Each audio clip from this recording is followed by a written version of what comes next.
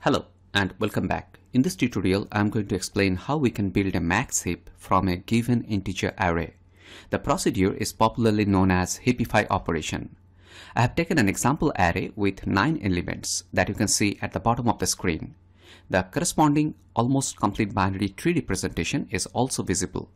Now, this is an arbitrary array and definitely not a heap. We are going to build a heap in place using this heapify operation. Let's see how we can do that. We are going to apply the adjust operation that we have understood in the last tutorial for building this heapify operation. Trivially, a tree with only one node is always a heap. That is, we can always think a heap tree rooted at any leaf, isn't it? So you see that at index 9, which is a leaf, we can consider a max heap tree rooted at index 9. Same for other leaves. Therefore, for any almost complete binary tree, all leaves can be considered as a heap root. We can find leaves up to index n divided by 2 plus 1 for any almost complete binary tree. As you can see for this example, n is 9, that's the total number of elements, and n divided by 2 is 4.5. We'll take the floor value, that means 4, plus 1 is 5. So n by 2 plus 1 is 5. So all nodes up to index 5 are leaves and they are obviously heap, trivially. So now from index n divided by 2 up to index 1, we cannot say that a heap is rooted at these indices.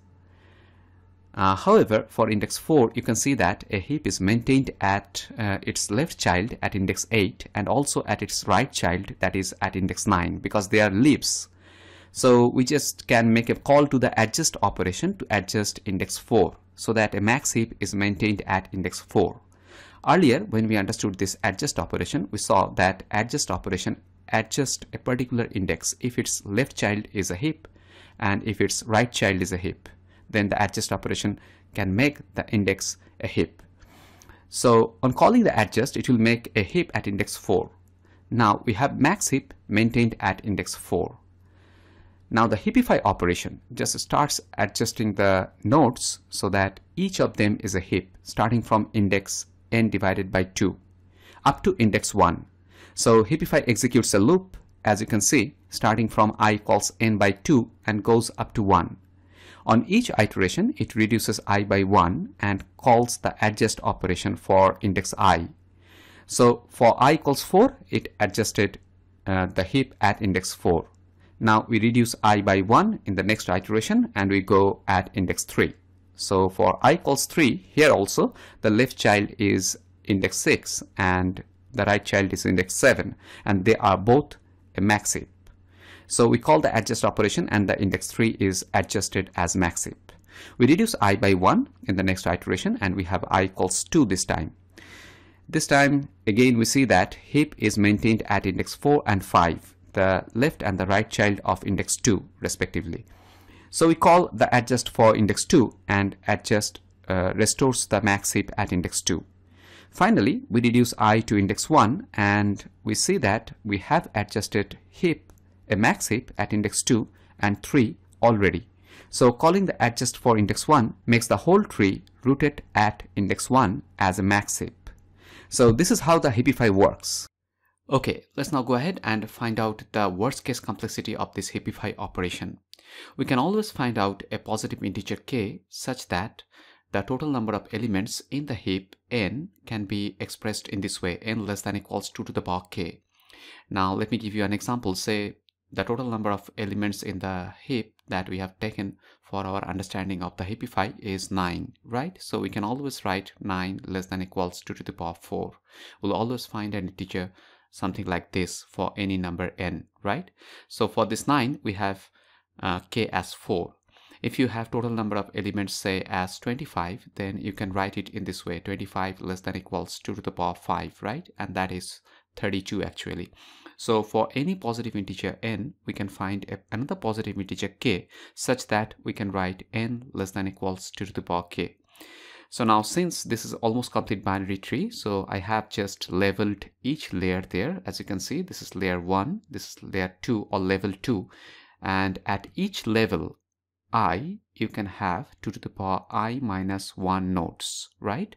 Because at level 1, you can see that it's 2 to the power 1 minus 1 that's 2 to the power 0 that means 1 node so at level 2 you're having 2 to the power 2 minus 1 that's 2 to the power 1 that's 2 nodes so in this way at level k you'll have 2 to the power k minus 1 nodes so at each level i there are 2 to the power i minus 1 nodes okay so now in the worst case you may have nodes here right can have nodes here in the worst case. Now for all the nodes here at this level, that's k minus 1. Um, I have told you that if k is the value 4, then we have these 4 layers there, right, for 9 integers. If you have 15 numbers, you can represent in 4 layers. That's actually uh, the thing that I tried to express here, right? Okay. So we have these log n layers. In strictly speaking, we can use the term log n. So k is actually order of log n, right? Because we can have the height of the tree as log n. So here at layer 4, we are not going to have any comparisons because all of these nodes at layer 4 are going to be leaves and they are heap.